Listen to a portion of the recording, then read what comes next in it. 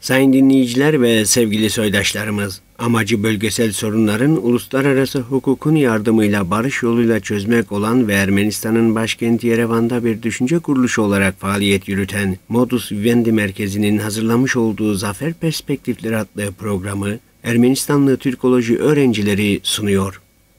Türkiye'nin her şeyi Alaturka, her şeyi Allah'a emanet. Türkiye'de büyük bir Hristiyan kitle İslam'ın içinde kayboldu. Türkiye ağır bir krizle boğuşuyor. Türkiye halkları birleşip savaşa karşı barışı haykırmalıdır. Türkiye Orta Doğu bataklığında sürünüp duruyor. Türkiye milletçiliği özgüven eksikliğinin kaba bir kamuflaşından başka bir şey değil. Asıl olan ölüm değil hayattır. İnatla barış. Milliyetçilik otoriter zihniyetin modern dünyadaki izdüşmüdür.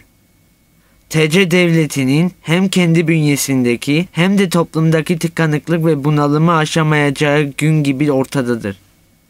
Dünyanın en yüksek siyaseti Orta Doğu'da yapılıyor. En uzman diplomatlar, siyasetçiler Orta Doğu sorunuyla ilgileniyorlar. ABD'nin de, İngiltere'nin de, Rusya'nın da en iyi diplomatları Orta Doğu okulunda okumuştur.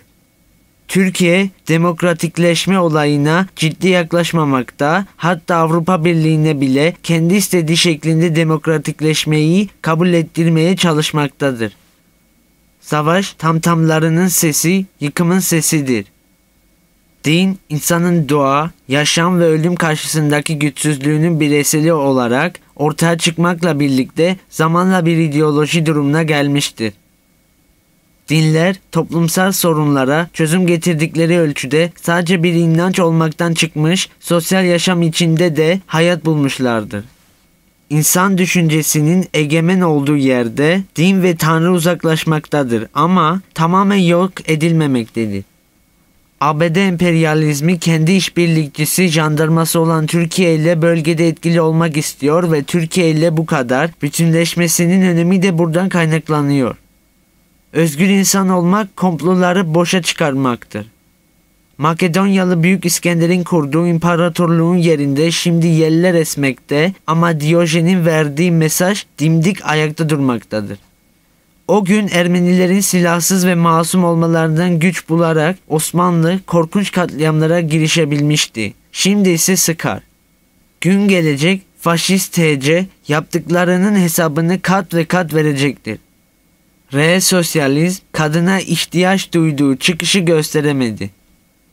Savaş, karşıtlar arası uzlaşmanın bittiği yerde hakimiyet kurmak için uygulanan şiddettir.